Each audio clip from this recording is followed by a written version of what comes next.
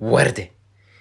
إذا أكو واحد من أقاربك درجة أولى أو ثانية توفى بشكل مجهول تحت عمر الخمسين يعني ما عرفوا سبب وفاته نام قعد ما قعد على طول وقع قف وقع ومات تشريح ما تشريح ما لقوا بشي ممكن يكون أكو مرض وراثي في عضلة القلب.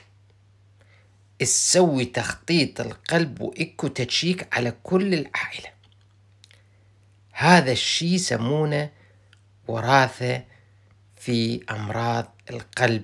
لازم يتشيك وإلا أكو خطر إنه أنت مصاب وما تعرف.